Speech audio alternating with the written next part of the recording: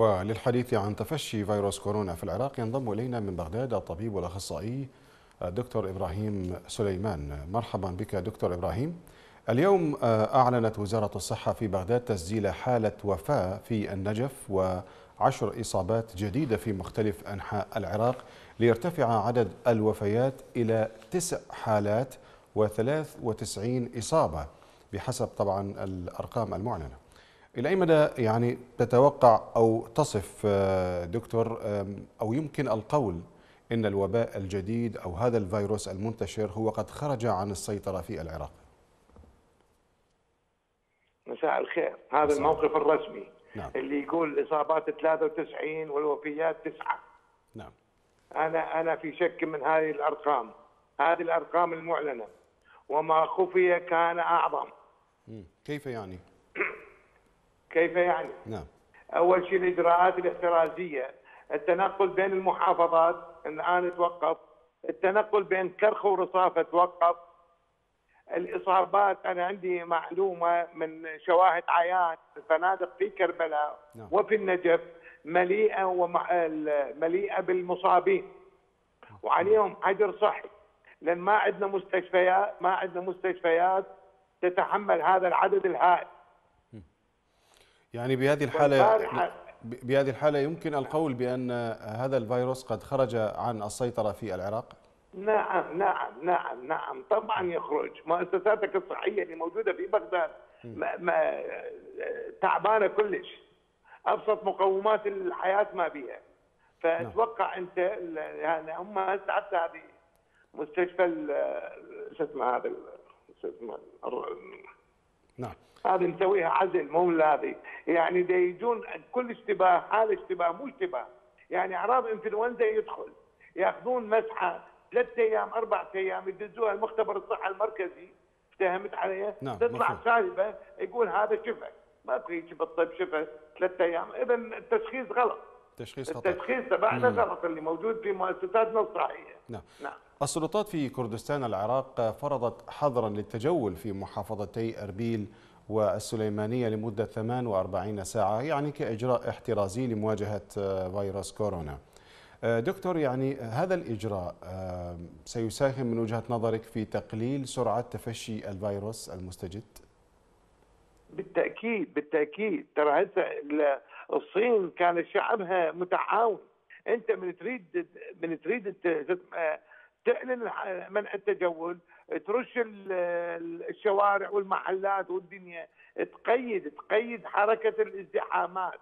لأن هو هذا الفيروس ينتقل عن طريق اللود على ازدحامات المناطق الموبوءه اذا إحنا, نعم. إحنا نقدر إحنا كعراق نقدر إذا انسدت الحدود الإيرانية نقدر نسيطر على المرض نسبيا بالتوجيه. آه المشكلة في الحدود المفتوحة ما بين العراق وإيران.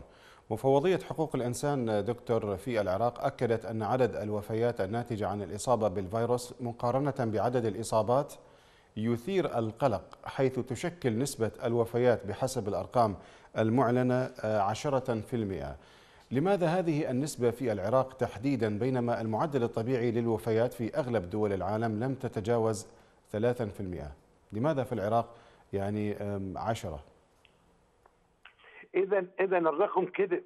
الإصابات أكثر من 200 300 إصابة. يعني إحنا عندنا 2% فيفترض عندك أنت 400 اذا 8 أو 10 بالمتوفين ف 2% المفروض عندك الإصابات أكثر من 400 450 نعم. نعم مفوضية حقوق الإنسان دعت اللجان المعنية لاتخاذ المزيد من الإجراءات الصارمة وإطلاق الأموال الكافية لتهيئة وتأهيل أكبر عدد من مراكز الإيواء والحجر آه، الصحي والتشخيص وما إلى ذلك. دكتور هل يمكن تحقيق ذلك على أرض الواقع في العراق؟ حبيبي هاي لجنة الأزمة مسوين أزمة من وزير الصحة وأربعة من عندهم. وأربعتهم على أطباء وأنا أعرفهم ماجورين من قبل أحزاب. يعني يمثلون أحزاب ولاءها ليس للعراق. يعني أيضا دكتور إبراهيم بالتزامن مع محاصرة القوات الحكومية فندقا في النجف. يعني القوات الحكومية يعني بحسب الأنباء التي وردتنا هي تحاصر فندق في النجف يضم زوارا إيرانيين مصابين بالفيروس. أكدت لجنة الخدمات البرلمانية استمرار الرحلات الجوية. يعني هم يحاصرون هذا الفندق الذي فيه زوار إيرانيين ولجنة الخدمات البرلمانية تؤكد استمرار الرحلات الجوية ما بين العراق وإيران. أين الإجراءات الحكومية؟ حبيبي هسه قبل قبل وقت ساعتين ثلاث ساعات نزلت طائرة شحن إيرانية في مطار بغداد الدولي على أساس مرضى عراقيين جايبتهم يعني مرضى قلب ومرضى ك... إحنا من تنقل مريض هسه من منطقة موبوءة يعني يعتبر كيرير كيرير يعني حامل للفيروس هسه أوجدوهم دبوهم بمطار بغداد الدولي. الآن الآن قبل ساعتين هسه طائرة شحن إيرانية. طيب الآن ماذا على المواطن العراقي أن يفعل؟ هو الله المواطن العراقي ما له غير بس الله بس الله.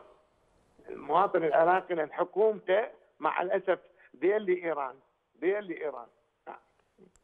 شكرا لك دكتور إبراهيم سليمان الطبيب الأخصائي كنت معنا من بغداد.